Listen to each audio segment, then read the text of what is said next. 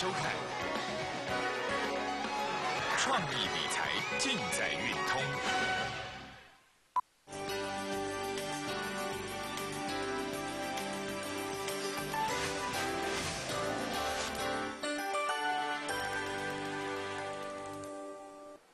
各位观众，大家好，欢迎收看股市气象台，我是顾德投顾高不姐。礼拜三台股出现我所谓的急涨，哈，那涨了一百二十点。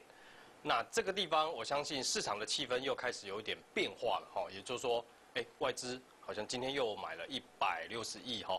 那这个地方，哎，人家说国安基金昨天宣布了退场，那结果没有跌是涨的，所以很多人的气氛又开始转变了，哈。其实，在一个礼拜前跟现在，似乎投资人的心态会起伏很大。那很大的情况之下，其实。我会跟大家讲说，股市啊，不要那么辛苦，你只要把技术分析看好，你就知道。那往往呢，这个行情怎么变化，我都会跟大家讲。因为我昨天我还是要延续昨天跟大家讲的，我在做节目的初衷要告诉大家未来会怎么走。好，就像我当时我在三月十七跟大家讲要回档了，或许很多人是听不进去，因为看到外资买嘛，哈。但但看到外资买，但是呢？有没有人知道要拉回了？没有嘛，绝对没有人知道。但是股市气象台，我高副总要做的节目就是，我每天在收完盘，我就是要跟大家讲说，接下来明天后天会怎么样？看节目才有意义嘛。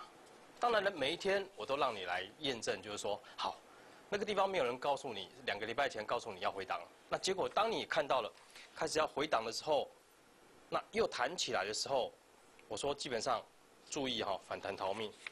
好，那四月六号讲了一个很重要的事情，我讲了一个很重要的事情，也就是说，技术分析可以看出一些我们讲的缺口理论。这沿路上来有五个缺口，补掉两个，在四月六号又出现一个跳空缺口。当然呢，往上的跳空缺口都会回补啊，往下的跳空缺口也会来回补。所以呢，我在四月六号跟大家讲说，这有个缺口，那基本上是会回补的。四月七号跟大家讲说，来注意进入这个位置，这个位置也是缺口的位置，也就是压力区的位置。在四月七号，这个都是不是事后演的，都是当时在跟大家讲的。四月七号告诉你会来补那个缺口，那个位置是做什么？那个位置就是又多，来到这位置要注意又多，好又多。或许当时。大概气氛说往往往下跌的，跌破颈线的，会有点偏空的一个想法。但是我要告诉大家说，虽然我认为行情要回档没错，但是呢，中间的细微波、短线的低跳，它要怎么走，我就是要帮你掌握好。我说四月七号那个有一个缺口，那它要进入这里的时候，因为呢，什么叫空头市场充满了诱多？什么叫又多？到了今天，你可能会知道哦，原来这个叫空头市场又多。为什么？因为今天进入了这个这个位置，进入了这个位置，而且呢，你注意看，昨天是小跌，今天急拉。那急拉代表什么？空头市场有一个东西叫又多，所谓的又多就是空头市场，空头市场就缓跌、缓跌、缓跌，忽然间急涨上来。那急涨很容易让大家认为说，赶紧的，好像这个行情要启动了，要再次启动的样子。好，那当然进来了吧？进来了哈。好，进来之后，那接下来该怎么看？既然如果预期来到这个位置压力区了哈，那向下的跳空缺口补掉之后，我请大家注意，这里有一个、两个、三个跳空缺口还没回补。本来有五个，一个这里有这个跟这个都补了。好，那这里这一个往下也回补了，对，今天完全回补了嘛？那你注意这里还有一个、两个、三个还没有回补哈。那我要跟大家讲一件事情，请注意，这叫做今天的这一个叫做主跌段前的急涨，也就是空头格局的缓跌急涨的卖点进来喽。进来的时候你要注意叫做什么？我不是要吓唬你，但是我要告诉你真的。你要记得懂得卖股票跟逃命哦，因为这里如果回到这里来的话，那你会错失了另外一次的一个机会。当然呢，这是加权指数的部分哈，这是 OTC，OTC 是昨天跌最重的，今天反弹，那反弹的气势，跟相较于加权指数来讲，它似乎比较弱。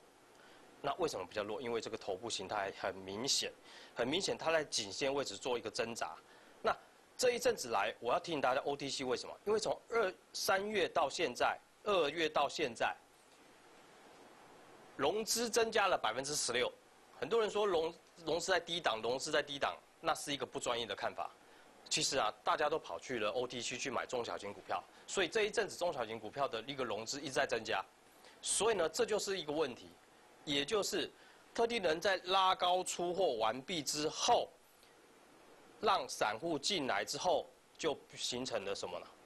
呃，套牢，拉高出货后形成套牢。那这个地方，你请把握住破颈线前的逃命。如果这里还有一个高点，注意，要注意哦，真的要注意，因为这个头部形态非常非常的大。好，这是我针对大盘的一个部分。那我今天要跟他讲一件事情，就是说，我的车标谁在配合演出？大家很好奇，我都要讲些什么哈？今天有个消息哈，我觉得，因为我在这个业界，我很懂得内幕哈。就像呃之前的浩鼎，我当时在十二月二十三告诉你要撤了，要撤了，有人要撤了，有人要撤了，你赶快避开。那相对到了今天，过了我们讲说四月了嘛，将近三个多月之后。今天有一个消息是这个，立委证实浩鼎借券四千张，所以呢，大家甚至曾明忠当了立委之后啊，就开始要抓这个，要抖这个。他说不是政治问题啊，这是法律问题啊。哦，那是不是去查查到底是谁借券哈？其实呢，我我要我要讲的是哈，有时候主力在在出货的一个手法，我们都看得很懂，都没有变。只是说主力要出货的时候，一定会有人配合演出。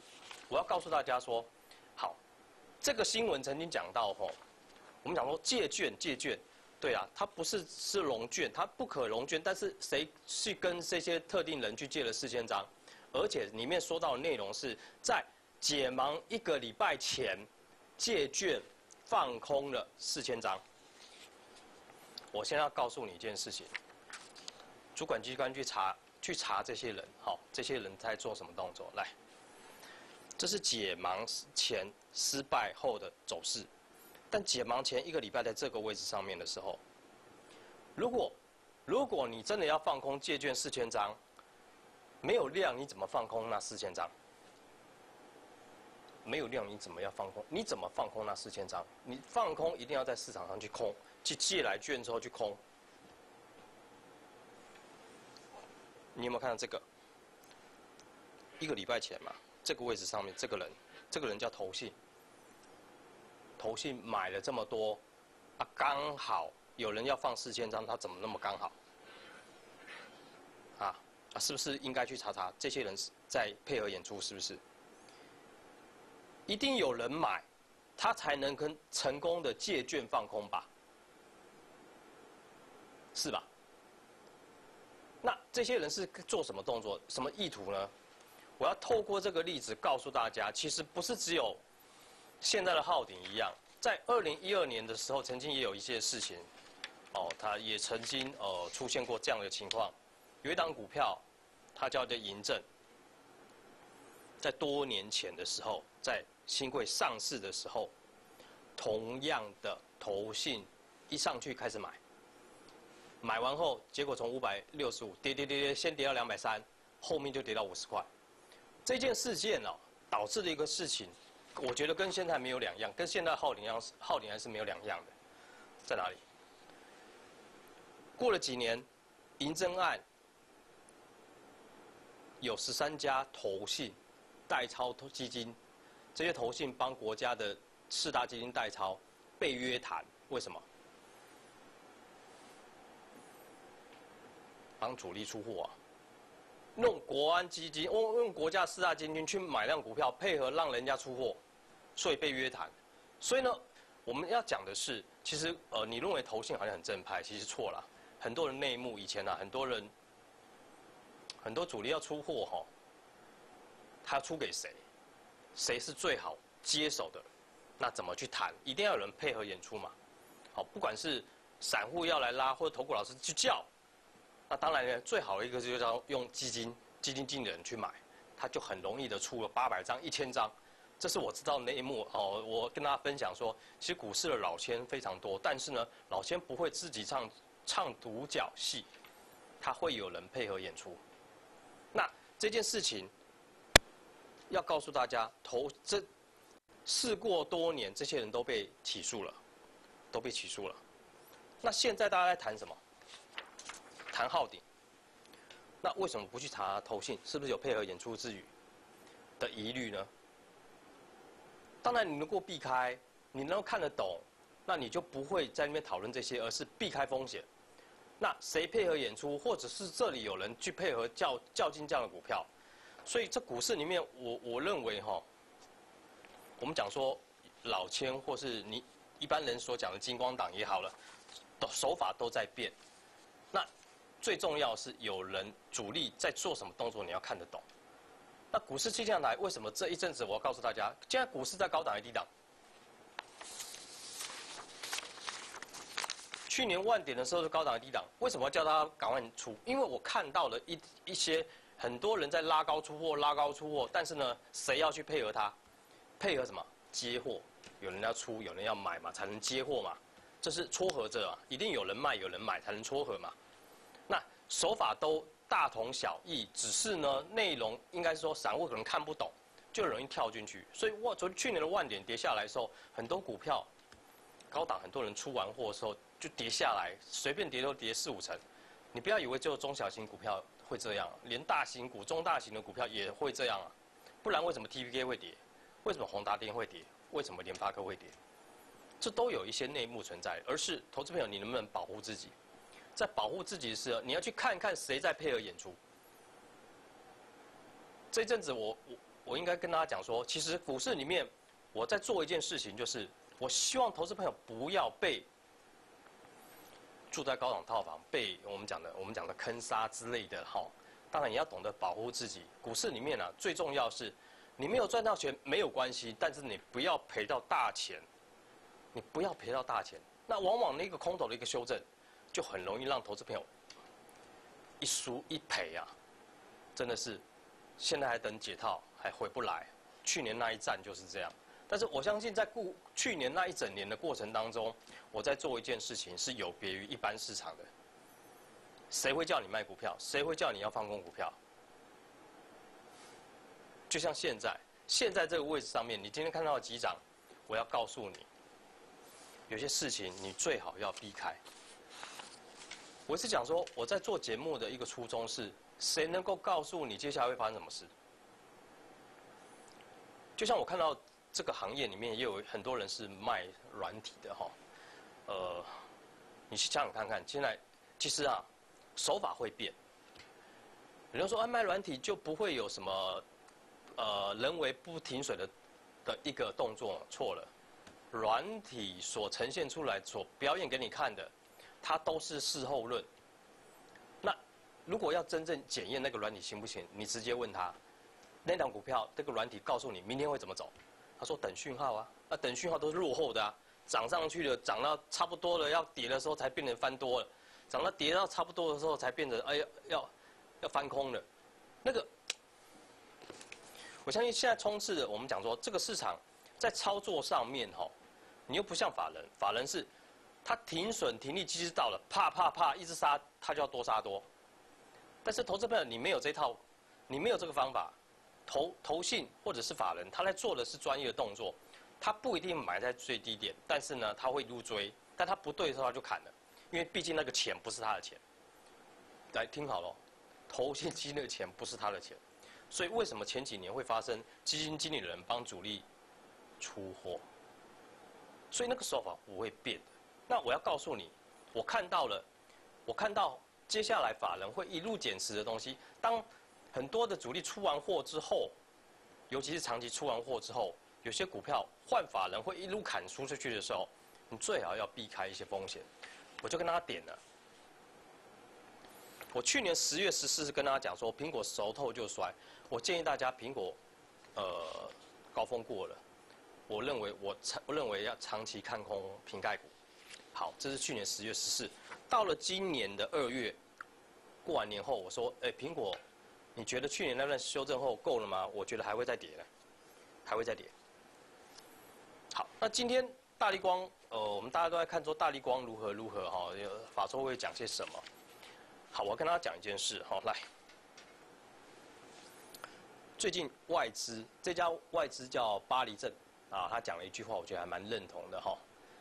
他认为说市呃市场对新款，就是说今年九月推出的 iPhone 哈，不管是七也好，似乎有过度乐观。那他讲一个重点是我之前讲的，叫做红潮的崛起，舜宇光学持续扩大中国的不管是八百万或一千三百万的市占率。好，那他说这个基本上舜宇光学起来了，这是我之前提醒大家的。当大陆我们会做了，他们也会做，而且他来抢单的时候。那你觉得股王还有保有竞争力吗？市场会被说会被抢食，联发科是不是当时就这样？为什么我去年会空联发科？就是因为我知道顺影光，呃，展讯崛起之后，他一定把联发科当做首要的敌人。当然，大力光，大家认为是呃最会赚钱的公司，股价还在两千多块，但是外资讲了。他跟我的看法是一样的，他认为今年的 iPhone 出货量预估会将去年减少百分之十，去年 iPhone 六 S 已经卖的不怎么好了，七还会比去年的呃 iPhone 六 S 卖衰退百分之十，那证明一件事情了，大力光的苹果的订单它会下滑，再加上舜宇光学，来，这个讲了个重点，舜宇光学近期陆续从大力光手中抢下。中国智慧型手机镜头的市占率，好市占率。那舜宇光目标是要当上中国智慧型手机照相镜头一哥，他已经展现他的企图心了，就跟展讯一样，他就是要干掉联发科。那大力光会怎么样？所以我将告诉你的是，有人在减持瓶盖股了。啊，所以呢，你要注意，我认为瓶盖股长期是走空的格局。大力光，因为跌这段的，好像跌多了哦。其实，长期走空的股票反弹就应该早卖一点了。所以呢，基本上不管他今天下午的法说会法说会如何哦，外资圈所给他的共识就是减持、降频、减码。为什么？因为我们讲的一代拳王哦，通常都不会有。不会有永久的拳王，一定会因为市场看到他赚那么多，一定会有人赶紧进来去跟他抢食。所以呢，好光景已经过了。我讲了，苹果熟透就摔这一件事情也会发生在台湾的股王身上，熟透了，创下了三千多块，结果嘞，你要记住这个，这个会影响什么？整个瓶盖股、整个电子股、整个股市的一个气氛。当然呢，我还是要提醒大家。主轴有些股票是长期法人要减持的股票的时候，你不要认为它便宜了就应该买。就像这个，我认为这个手头就摔有没有？就是还在摔啊，继续摔啊。红杰科有没有破这个底？继续摔啊。为什么会摔？就是因为之前看好了，现在理由没有了。那注意了哦，财报接下来公布的时候，很多东西丑媳妇要见公婆了。五六月五穷六绝的财报营收会怎么样？现在都要开始要反应了，不会等到五月公布营收的时候才出现。当然呢，除了大力光这个股票也一样可成。很多人说哇，这个殖利率如何如何哦，殖利率如何？但是如果你进去买，为了赚的赚它的配息，但是未来你会不会赔掉什么？股价的价差，你会不会赔掉股价的价差？所以这些股票，我要跟大家讲说，苹果熟透了还会再摔哦。所以你要记住，股市里面，呃，虽然主跌段还没展开的时候，但是很多股票早就已经进行领先下去了。那些领先下去都会有一个原因，就是，啊，特定人在减持，在减码的时候，在一路减持这样股票的时候，它就会跌不停。那我希望你不要不要有这样的股票。哦，相对的，如果真的接下来主跌段进行的时候，那哪一些股票会从高档起跌往下跌呢？那也将是我呃二零一六财富重分配计划班二部曲所要全力布局的，因为我昨天讲了，我从过年后到现在的一个首部呃首部曲财富重分配计划班的首部曲，我昨天做了一个空单回补，啊，不管是合硕也好，或者是呃呃那些股票弹起来之后，那基本上今天做了一个反弹，那我要把资金抽回来，准备布局二部曲的股票。那哪一些是二部曲股票？我认为二部曲。是针对进行主跌段的股票，也是说最会跌的股票的时候，那你最好不要持有，它都有迹可循的，是哪一些股票嘞？那我下个阶段告诉大家。来，我们先休息一下，稍后回来。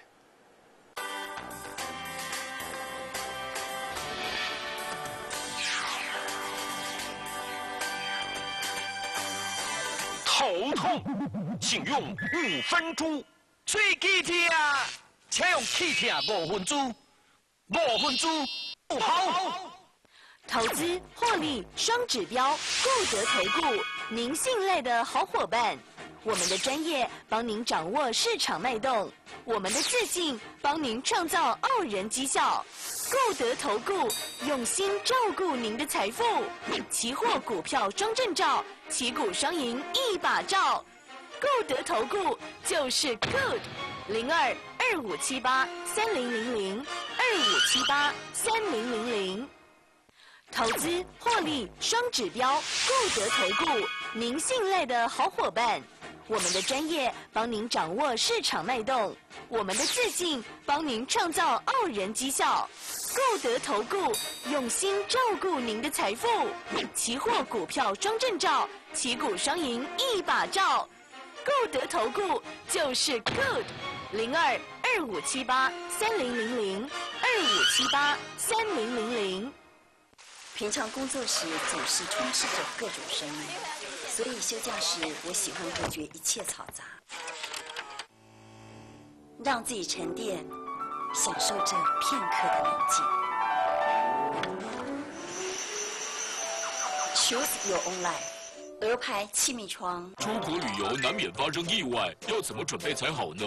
国外医疗费用贵桑桑，出国前最好选购适当的保险，旅行险加买附加条款，保障多更多。长期出国或度假打工，要选对保险种类，并注意效期。外交部驻外管处可以提供必要的协助，但是没有办法帮忙支付或代垫医疗费用哦。朋友们，出国前记得选购合适的保险，让出国更安心，有备无患哦。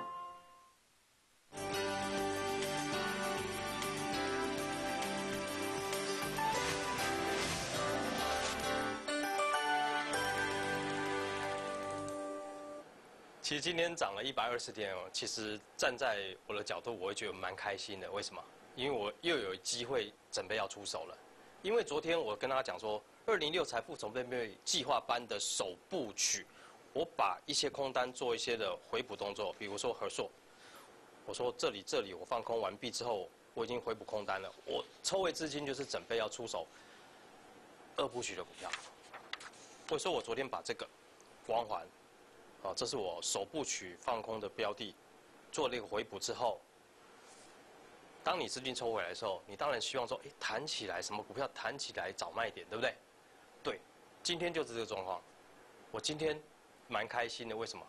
当我空单回补之后，我要进行新的放空标的的时候，我希望盘势涨起来的时候，涨起来又会有一个拉高一个比较好的空点的时候，当然未来的获利空间就会比较大了。那接下来我要做些什么动作？也就是我一直跟大家讲说，昨天其实反应还蛮热烈的哈，呃，感谢昨天呃打电话进来的人，因为他们想跟上说，他们首部曲没跟上的话，他想要跟上二零一六财富重分配的二部曲，好，因为很多人，因为我跟大家讲说，在去年二零一五你没有跟上的，你错过很多机会，当然二零一六在过年后这个过程当中，虽然我的动作不多。虽然我很低调，我是默默的做，我不会跟，我不会在节目上跟大家讲说我们空什么，但是我会点你，但是我默默在带会员做的时候，何时该空，何时该补，我就帮我的会员掌握好低调的形式。当然呢，现在我认为你在首部曲没跟上的没关系，因为主跌段最好赚的那一段要来了，那一段要来的时候，那你就不要错过，因为什么？主跌段是最好赚的那段，也是幅度最大、时间最快的那一段。那要空哪一些股票？我觉得就是这种，我在等它反弹。当然，今天大盘有反弹，有啊，我等着，我觉得机会要来了，机会要来了。但是呢，它有名额的限制，因为它股本比较小，我只能在特定的人，好去空这样的股票。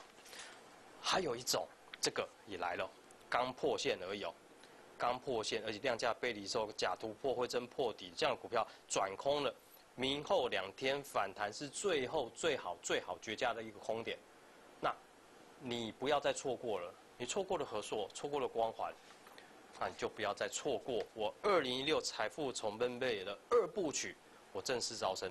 所以你手上有任何不管平盖股或者套牢股票，最近买股要套牢的话，我觉得一通电话可以解决你的手上持股的问题。如果有任何问题，欢迎您跟我线上助理做个联络。本投资公司与所推荐分期之客也有大证券无不当之财务利益关系，以往之绩效不保证未来获利。本节目资料仅供参考，投资人应独立判断、审慎评估并自负投资风险。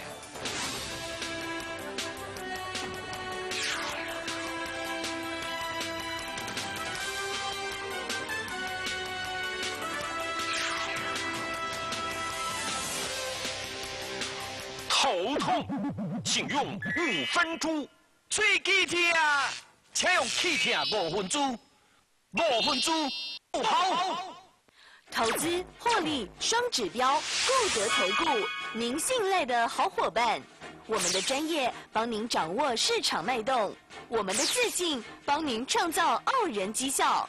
购得投顾用心照顾您的财富，期货股票双证照，旗鼓双赢一把照。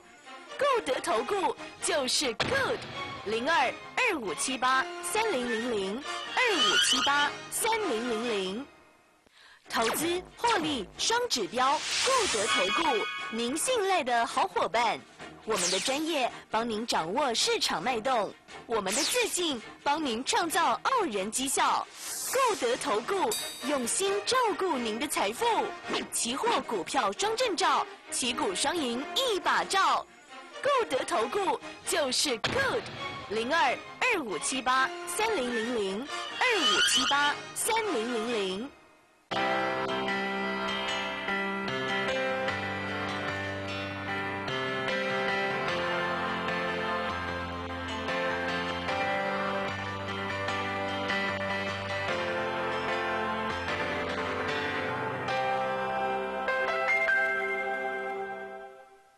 市千变万化，当操盘千头万绪，当机会千载难逢，即日起用一千元体验空天雷一个月，就送轰动市长操盘。